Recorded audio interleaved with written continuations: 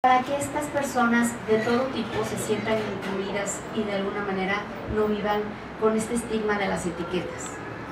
Yo creo que es un viaje hacia el interior de cada persona. Es un viaje para encontrar cuáles son mis fortalezas. Eso yo lo platico mucho con mis niñas. Cada una tiene sus propias fortalezas, como también todos tenemos nuestras propias debilidades.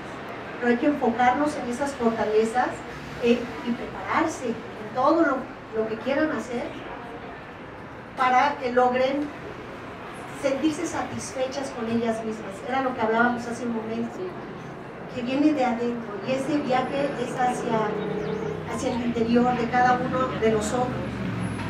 Y eso he tratado de, de sembrarles a mis hijos desde que son muy pequeñitos. Ya ahora yo tengo tres hijos adultos tengo dos niños, dos, dos cuatitos de nueve años Así que tengo en mi casa todas las generaciones, maestro. A, B, Z, X, de todo tengo yo.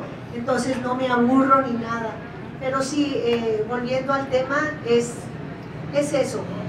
Cada uno de nosotros nunca vamos a poder ser como el de al Nunca vamos a poder ser como el que admiramos muchísimo. Mejor ser la versión, la mejor versión de nosotros mismos que una copia mal hecha de nosotros. Absolutamente de acuerdo, muy, muy bien dicho. Tranquilidad de aceptarme como soy.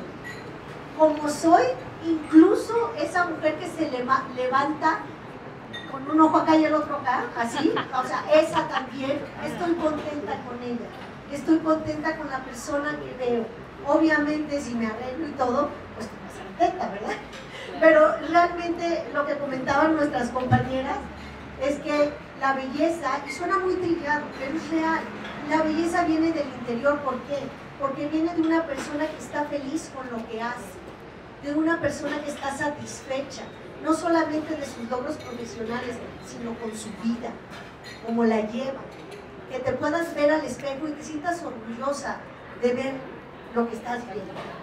Y por supuesto que, que eso, con el transcurso de los años, lo vas digiriendo y dices, sí, ahí, ahí es donde está la verdadera belleza de las personas, no solo de las mujeres, de las personas, de los seres humanos.